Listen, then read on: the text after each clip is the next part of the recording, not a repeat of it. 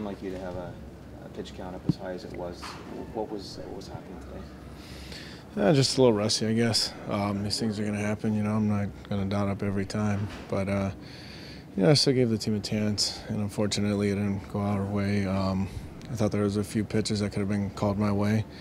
Uh, it was a grind. You know, they put together together uh, pretty good at bats over there, so things are going to happen. When you say rusty, is it a matter of adjusting to the extra day off now with the six-man rotation?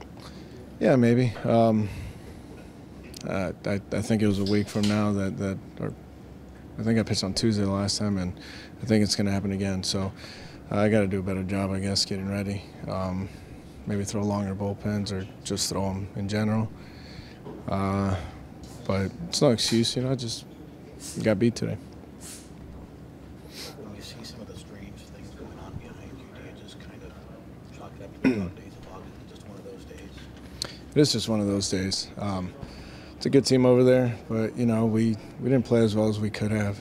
uh, I thought a lot of things kind of went their way, and you know obviously I, I, didn't pitch a good game, so it really doesn't matter. Um, I got to be better than that. Can't just go five innings. Uh, you know, my, my goal is always to try and finish a game, um, or at least give them as many innings as possible, and uh, it just wasn't enough today.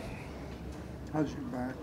Back's fine. Back's fine. I shouldn't have any issues with it. Um, I'm out there pitching, so I, we don't really need to talk about that anymore. Uh, if you don't see me pitch, then you'll know that it's not doing too well.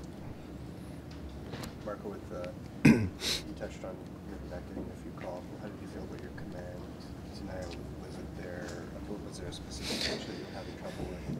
Uh, you know, I wasn't missing by much. Uh, certain at bats, I was all over the place, but a few, I, I didn't think I, I missed by much, and um, I, I, don't know. I just, I guess because I was wild, I, didn't get those calls, so that's my own fault. Um, I got to pitch better than that, but like I said, these things are going to happen once in a while, and uh, you know, we we were in the game and we had Smyly on the ropes, and uh, it, you know, he he he put it together, you know, and, and got out of some big jams. So you got to tip your hat to him. Uh, these things are going to happen. I just next time around, I got to pitch better.